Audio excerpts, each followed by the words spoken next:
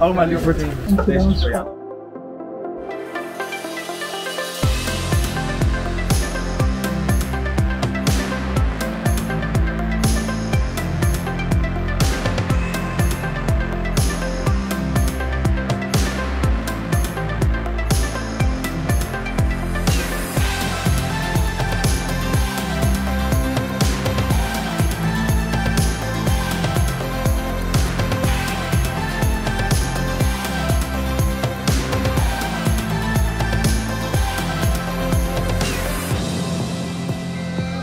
Ik vond het een eh, hele fijne periode met jou.